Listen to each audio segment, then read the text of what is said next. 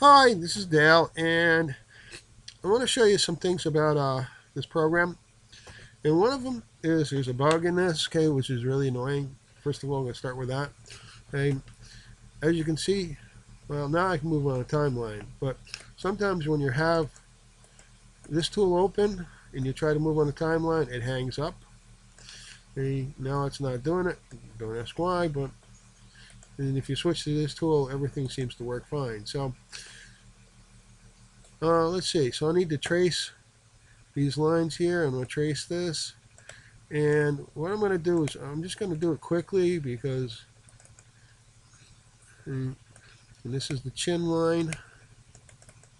And now these two lines don't exist up here, but I'm going to put them where I think they would end up anyway. Okay. And so now you have, yeah, you see it hung up again.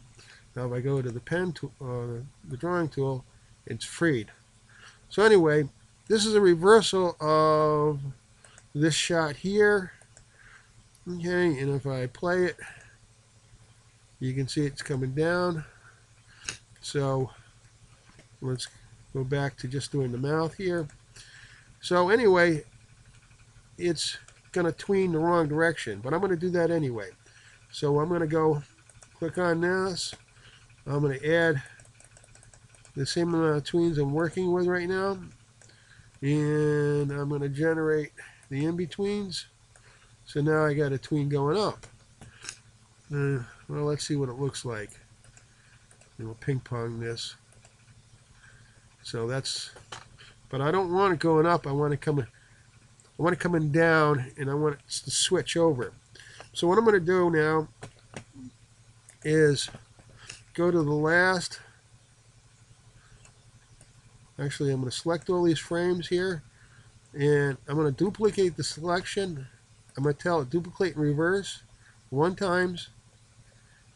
And now I've got the reverse right here. So this is it coming down so now the only problem is, is I got to get rid of this selection. And hopefully, no, delete key don't work. Hey, that's, that's depressing. A edit, cut. Nope. Hey, I'm still unfamiliar with this. Okay. Ah, here we go. Uh, try this. Remove selected frames. Delete them. Okay. So now I've got this down in a downward motion. Hmm. But I only want the last couple of frames. I want the mouth to, change, to have the original up here. Okay. Well, got to turn the cell on. Okay, and as it come, it's coming down. Let me turn the light box off for a second. So as it comes down, it's going to switch to the other thing. And I already did it once in here on cell 2, but as you can see, you know, the lines aren't the same width, but the point is here is about right there I want it to switch over. So what I'm going to do is I'm going to go in here and I'm going to uh, let's see. Uh, uh, oh, I know where I'm going to go.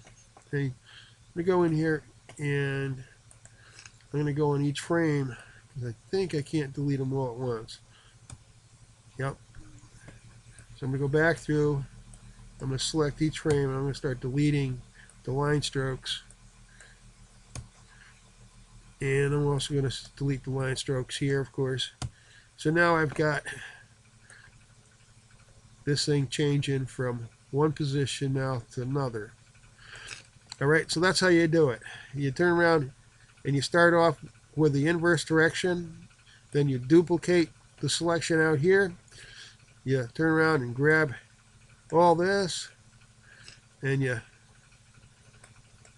it'll ask you to you can delete the key, the, the frames in between with this tool, and you're good to go. Thanks for watching. My name's Dale. Goodbye.